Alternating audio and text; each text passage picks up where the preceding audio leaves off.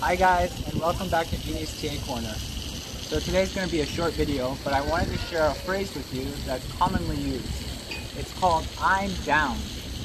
Now, there's many ways that people could agree to something. Uh, usually when people invite you to an event or some kind of a party, instead of saying, yeah, I want to go, younger kids usually say, oh yeah, I'm down. Meaning, yeah, I agree, I want to come. Like, please include me. Now, I also want to warn you though, there's another I'm down, which is less commonly used to describe feeling emotionally sad. Its a longer form is I'm feeling down, but I've heard it said I'm down as well. So if you're actually feeling sad, don't say I'm down because then they might ask you, oh, are you feeling okay? So usually when people say, oh yeah, I'm down, it's an enthusiastic affirmation that they want to come with you to the party or join you for dinner.